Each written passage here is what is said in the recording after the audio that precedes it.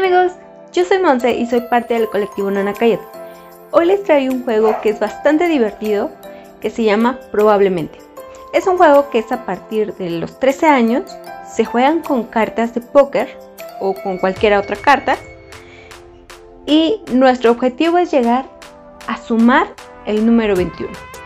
Entonces les dejo para que vean de qué se trata este juego. Bienvenidos a una producción más de Colectivo Nanakayotl. Para el material vamos a necesitar una tablita como estas. Se las dejo para que le pongan pausa al video y puedan ver las cifras. De todos modos, todo el material se les deja aquí abajo en caso de que lo necesiten. Esta tablita la pueden tanto imprimir como hacerlos ustedes mismos. Yo la hice manita. Y vamos a necesitar unas cartas. En mi caso son cartas de póker. ¿Sí? Estas cartas pues son de póker. Pueden utilizar también cartas de baraja española, que son estas. Eh, yo en lo personal pues me gustan más estas. O en caso de no tenerlas pueden hacer sus propias tarjetitas, no hay problema. O hasta con las tarjetitas del uno se puede jugar. Todo es cuestión de eh, creatividad. Les explico. Estas cartas tienen un valor. Todas las cartas de nuestro juego tienen un número aquí. Y es, digamos, 2, 3, 4, 5, 6, 7, 8, 9, 10. Pero, ¿qué pasa con estas tarjetas? Estas tarjetas también tienen un valor.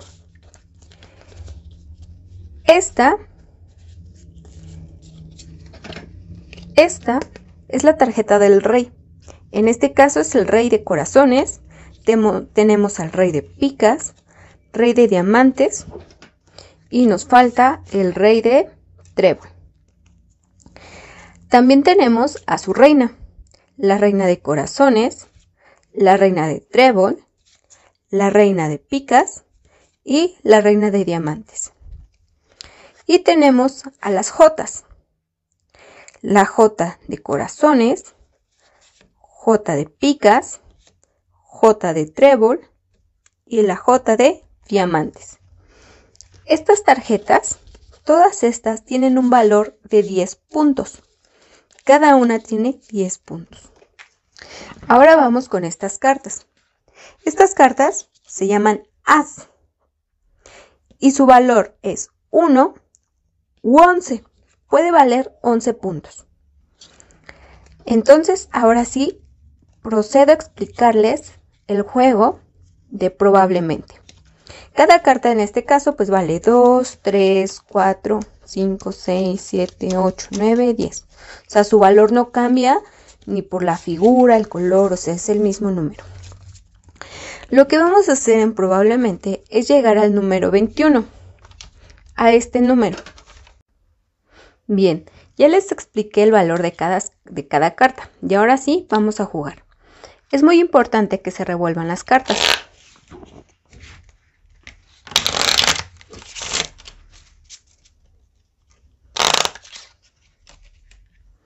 Nuestro objetivo es llegar al número 21. Se van a repartir dos cartas a cada jugador en una primera ronda. Cuando todos hayan visto sus cartas y si ven que es necesario, van a pedir una carta. Solo es de una carta. Así sucesivamente hasta llegar al número 21. Entonces, suponiendo que estamos jugando con otras tres personas,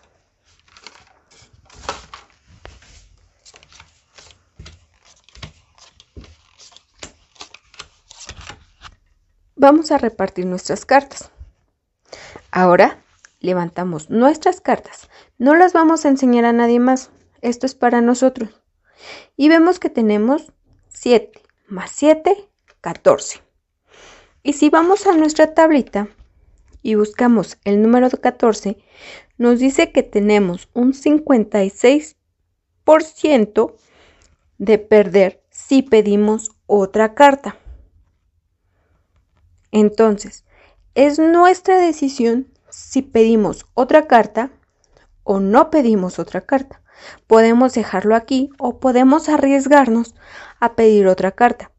Si pedimos otra carta nos puede salir una carta mayor y esa carta mayor puede excederse al número 21. Ahora, tenemos 7 más 7, 14. Ahora, suponiendo que somos los otros jugadores, vamos a ver. En este caso tiene 6 más 8. Que 6 más 8 nos dan 14, que es lo mismo de acá. También tenemos un 56% de porcentaje al perder si pedimos una carta extra.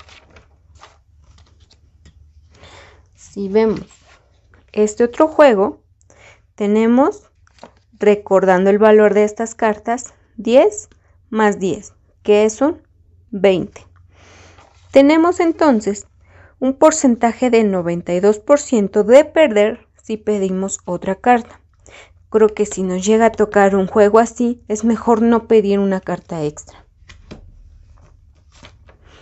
Y el otro juego nos da como resultado 15.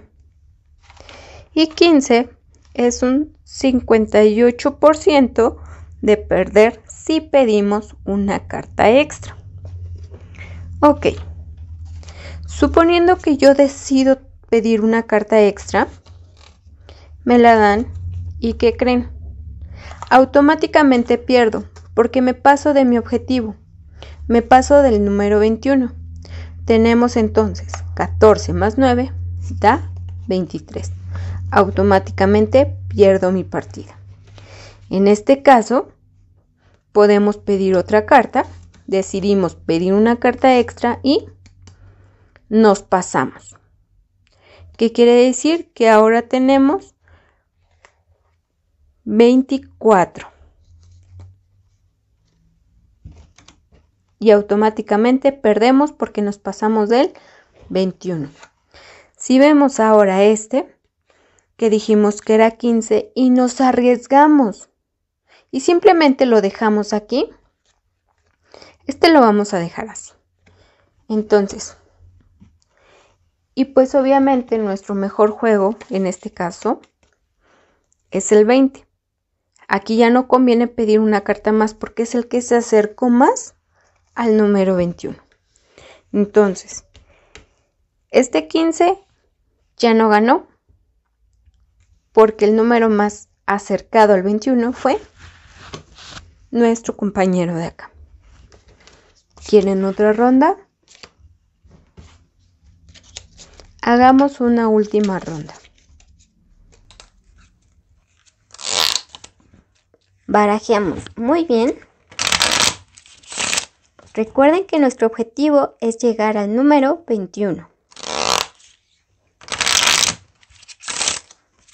Y repartimos de dos cartas. Supongan en serio que estamos jugando con otros tres. Ustedes pueden jugar con todas las personas que quieran. Ahora sí, levantamos nuestras dos cartas. Este es un juego perfecto. Recordemos cuánto vale esta carta. Esta carta vale 1 o vale 11, dependiendo tu juego. Y este vale 10.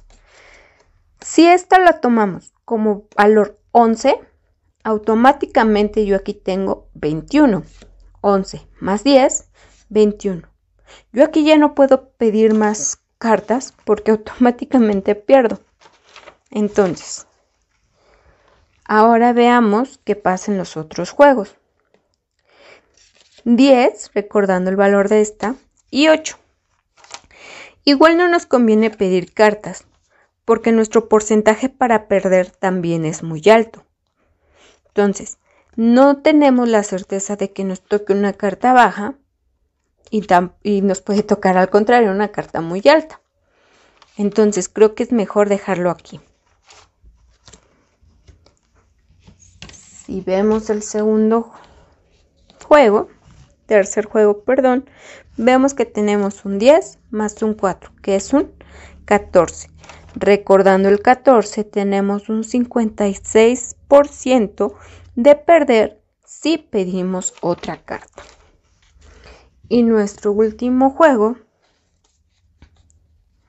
es 10 más 5, que en este caso sería un 58% de perder si pedimos otra carta. Nosotros, que este es nuestro juego, no, no es necesario pedir otra carta, porque aquí pues ya ganamos. Tengan lo que tengan los demás, pues ya, ya ganamos. Ahora, suponiendo nuestro compañero de 18 pide una carta extra. Sabemos que no es recomendable, pero él pide una carta extra. ¿Qué va a pasar? Oh, le sale un as. En este caso, a él le conviene que el as valga 1 para que entonces tenga 19 puntos. 10 más 8 más 1. 19 puntos. Y ahora nuestro otro compañero, teniendo 14, se arriesga y dice, dame otra carta. Le damos otra carta. ¿Qué creen? Ya se pasó. Automáticamente él perdió. Y nuestro último compañero que mejor decide no pedir cartas. Ahora sí, todos volteamos nuestros juegos.